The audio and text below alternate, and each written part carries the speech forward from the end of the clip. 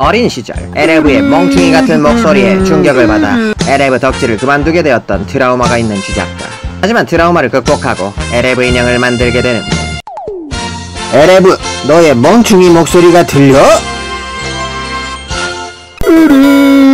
좋았어 에레브 넌 그런 멍충이 같은 목소리를 내지 않겠지 에레브 에레브 에레브 에레브 이런 목소리를 내지 않을까? 에레브 너의 목소리 들려줘 우?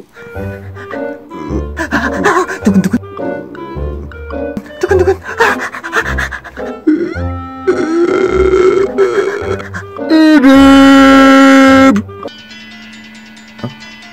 어? 내가 잘못 들었나? 어. 에레브 에레브 에레 조용! 말도 안 돼. 이건 아니야. 이건 뭔가 잘못됐어. 이건 아니야. 이건 아니야. 이건 아니야 쥐 작가 넌 무슨 일만 있으면 나를 찾아오는구나. 이 외모지상주의 쥐 같으니라고. 이제 그만 외모만을 좋아하는 그 어리석은 가치관에서 좀 벗어나지 그래. 사람들의 아니 인형들의 외모지상주의 덕에 먹고 사는 쥐가 할 말은 아닌 것 같은데. 그래 뭐 좋아. 그래서 수술비로 얼마를 줄 거지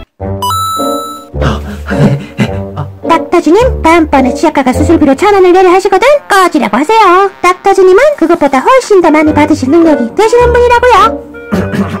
꺼, 꺼, 꺼져! 겨, 겨우 천, 천원 따위로 내 수술을 받을 수 있을 거라 세, 생각했어? 아싸! 줬다 뺏기 없기다. 한 번 줬으면 끝이야. 알았으니까 빨리 이 녀석의 목소리를 고쳐줘. 아이고 저 멍청한 쥐를 어쩌면 좋아. 훗.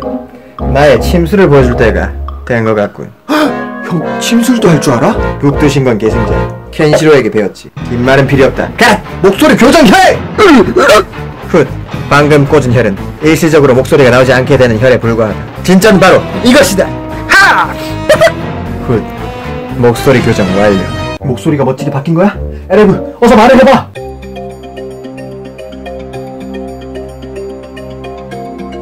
에레브 에레브 넌 이제부터 말하지 마. 네 목소린 지금부터 내가 낸다. 봐, 얼마나 멋있고 좋아. 조용! 저런 외모지상주의에 빠져있는 한심한 쥐 같으니라고. 겉모습의 가치에만 빠져 살다간 인생에는 허무함밖에 남지 않는다는 걸 모르는 넌 내다 내다! 그렇다. 쥐 작가는 외모지상주의자지만 닥터쥐는 물질만능주의자였던 것이다.